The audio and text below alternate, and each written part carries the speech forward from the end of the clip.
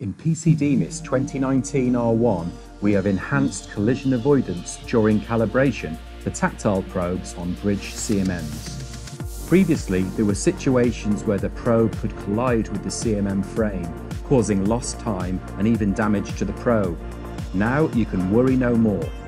Before using the new feature, first check that the CMM limits are correctly defined. You can do this from the F5 setup dialog on the Part Machine tab. Near the bottom, you'll see the limits defined. On Hexagon machines, this would be filled in automatically, but you may need to manually specify it for other hardware. In addition, you can manually adjust the limits to also make it stay clear of tool changes or other obstacles. Once configured, then you're all set. Go into the calibration, select which tips you wish to calibrate, choose your artifact and press measure. So far, so familiar. But before it begins, you will now be presented with a new message to perform collision check. Of course, you're going to say yes, but you can also set it to don't ask me again. Now sit back, grab a coffee and relax, safe in the knowledge the calibration will run smoothly to completion. While it's busy, why not head to the Idea Centre?